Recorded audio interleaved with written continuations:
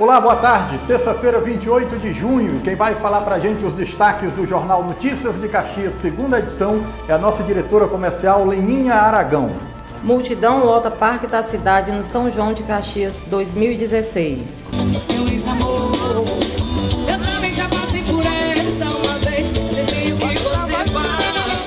Sistema Sinal Verde faz nova cobertura de sucesso durante festividades juninas. Além de levando informação para quem está em casa, a Sinal Verde FM está com diferencial. A gente está dando prêmios, brindes. Inaugurado posto policial no residencial Santa Terezinha.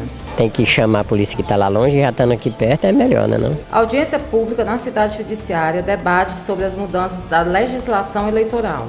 Não é permitido este ano bonecos, cavaletes, não é permitido nenhuma propaganda em bens públicos em geral. O NC2 começa às seis e meia da noite.